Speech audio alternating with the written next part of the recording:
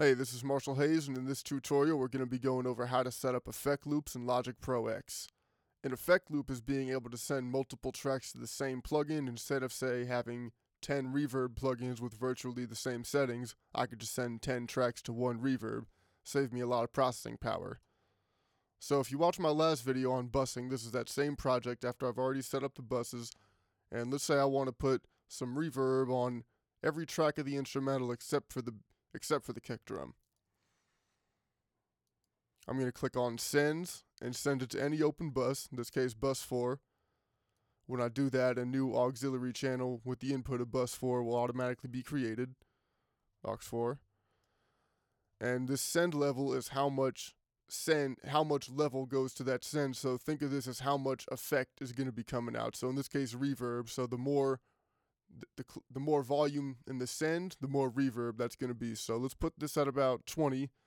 And on the guitar and the bongos, I want a little bit more reverb on them. So I'm going to turn them up a little bit more. And on that aux 4, let's just go ahead and name it. Keep everything organized. Reverb. and then, of course, put a reverb on it. I'm just going to use the Logic Space Designer, and to save time, I'm just going to throw a preset on. I usually don't use presets in my mixes, but just for the tutorial's sake. And you want no dry signal coming through. If you're on a the kind of reverb that has the option for wet dry, put it on 100% wet. And this one, just leave the dry at zero. So I'm going to play the beat without it, then I'm going to turn the reverb on.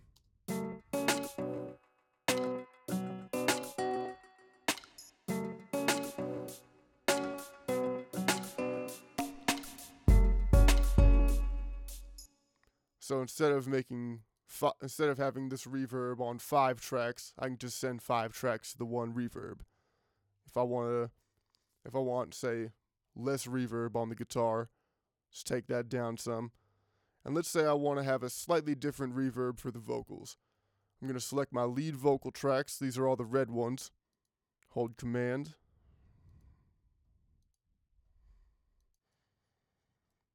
And under sends, Select that to the next open send.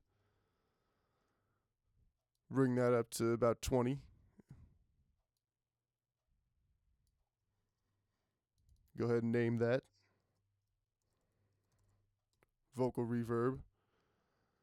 Could hold Alt to copy it over, but let's say for the vocals I want a little bit shorter of a reverb time and a little bit of pre-delay just so the vocals don't get so drowned out switching solo the vocals, my lead vocals.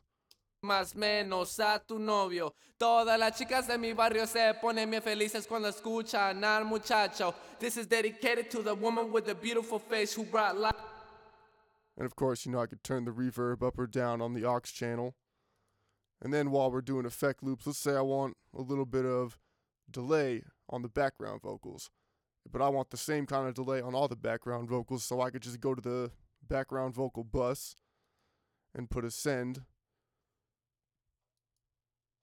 on the next open on the next open bus.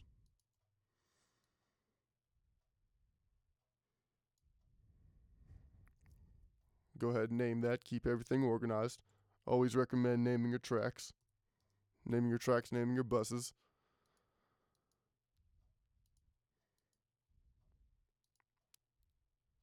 And I'm just going to put on the echo. And your tempo has to be synced to your project for this plugin to really work. Otherwise, it's going to be going off randomly. But if you have the tempo sync, this is going to be going on the delay to the beat. And if you don't know how to set your tempo in Logic, then subscribe to my channel because I'm going to be uploading a video on that soon.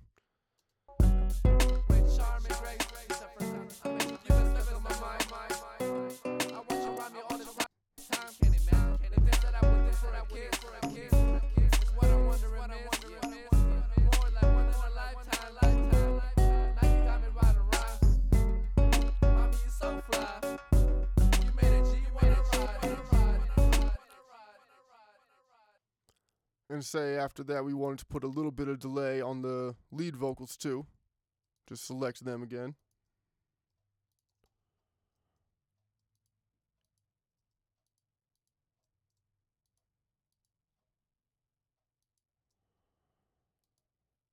and send them to the delay too. Bring them up at a little bit less.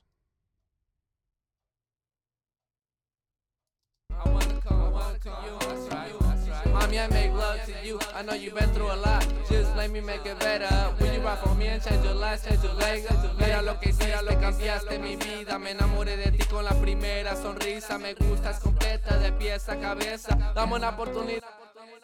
So that's effects loops, and you could do that with any kind of plugin. Any kind of plugin. this is Marshall Haze. Thanks for watching. Feel free to leave any questions in the comments. Peace.